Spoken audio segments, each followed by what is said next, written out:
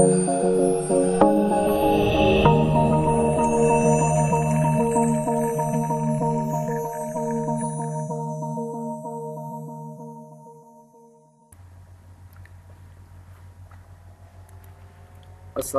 warahmatullahi wabarakatuh.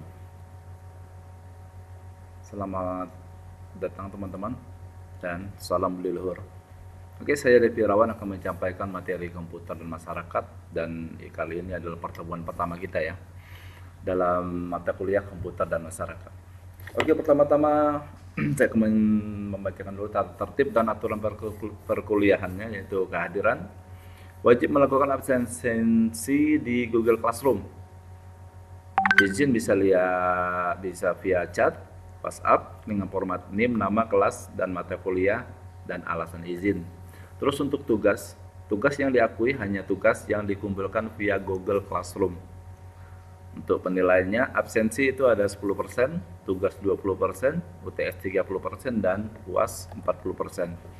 Dan selanjutnya untuk materi pembahasannya ada 13 materi pembahasannya. Ya, silakan dilihat sendiri untuk materinya.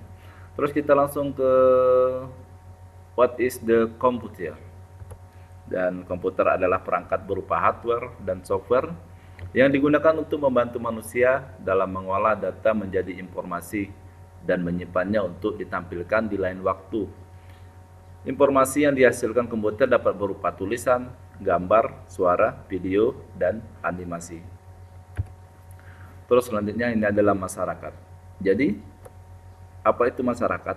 Masyarakat adalah kelompok manusia yang punya kebiasaan, tradisi, sikap, dan perasaan persatuan yang diikat oleh kesamaan. So, apa hubungan komputer dan masyarakat? Jadi, hubungan komputer dan masyarakat itu ada di komunikasi, hiburan, pendidikan, bisnis, informasi, dan controlling.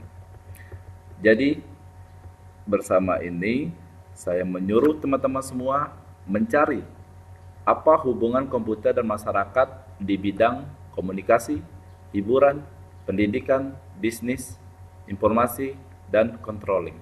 Untuk selanjutnya dan lebih jelasnya, teman-teman bisa lihat di Google Classroom yang akan Bapak share di sana.